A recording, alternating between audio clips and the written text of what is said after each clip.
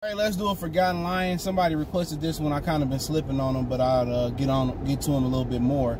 And I might start a Forgotten Detroit Piston uh, playlist. So check out the Forgotten Lion playlist. Johnnie Morton out of USC. I believe he came into the league. I don't have my computer right here next to me. In 1994 out of USC from Torrance, California. Even did some mixed martial arts after his career. From 94 to think like 2000, 2001, he played for the Lions. He ended up playing for the Chiefs for a few years and then ended with San Francisco 49ers. Let's talk about it. Hit that subscribe button, bell icon button, share the video. And when Mr. Morton came into the league with the Lions, he primarily was the third option. He worked out the slot because the Lions had the dynamic duo of Herman Moore and Brett, uh, Brett uh, Perriman. His, his son is Breshad Perriman, who lit the Lions up last year. Um, he just ain't been able to stay healthy in the league, but um, I'm gonna do I'm gonna do a forgotten lion on both of them how dynamic they were with uh, Barry Sanders. And, you know, the best year came for Johnnie Morton in 99, where he had over 80 receptions and over 1,100 yards. And, that, and they made the playoffs. And that's after the year after or the season after Barry Sanders retired. Um, you go on. I mean, he eclipsed a 1,000 yards like four times in his career. And um, he was an amazing route runner, shifty, great footwork, uh, was a deep threat. I mean, whew, having him, Perriman, and Herman Moore – I mean, that's the best of both worlds. Herman was just uh, like he remind you of Golladay. He can, you know, he can run intermediate. He was tall. I think Herman was six four.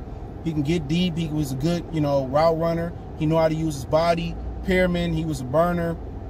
You know, great, uh, great receiver. The Lions had a great team. They just didn't have that quarterback. Johnnie Morton was amazing. I mean, he could run the post corner, stop and go. Uh, you know, corner. I mean, uh, the, I mean, corner to the post. I mean, Johnnie Johnnie Morton was amazing, fast, and remember for a long time he was the third option.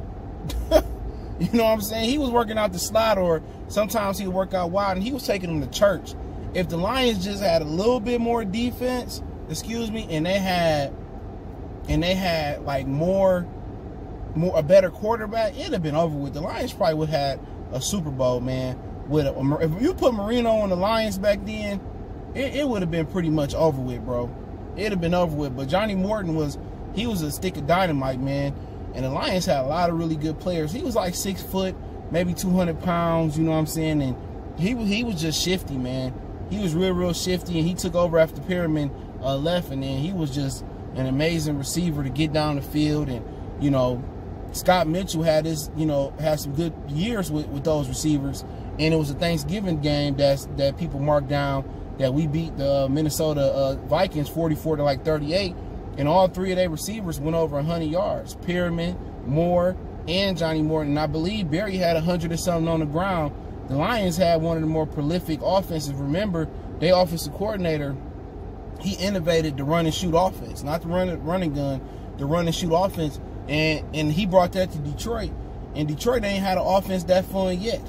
You put Matthew Stafford on those teams in, in, in the 90s, the, the Lions probably make it to the Super Bowl. That's what kind of was missing, just a little bit more defense. But the quarterback was the number one thing. You had the kicker, you had everything else. Those Lions teams, that was their window to be successful under the Fords. And ever since then, we have never had a team complete like that.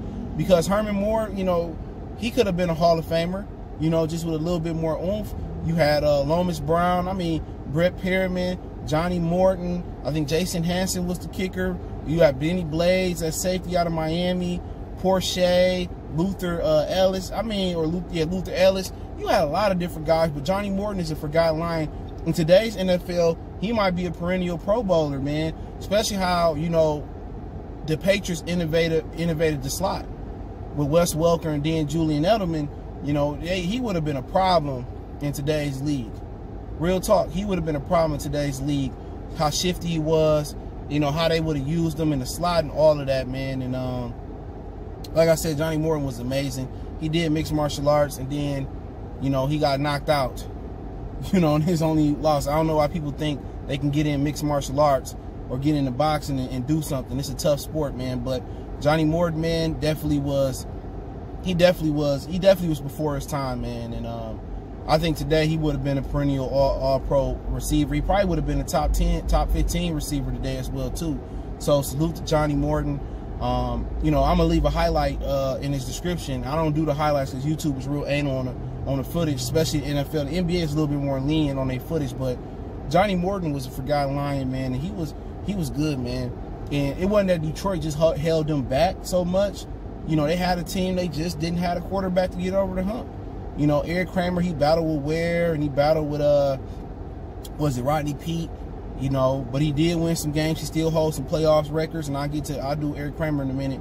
But hey, I appreciate everybody for checking in. City Sports Talk. Hit that subscribe button, bell icon button, share the video. We going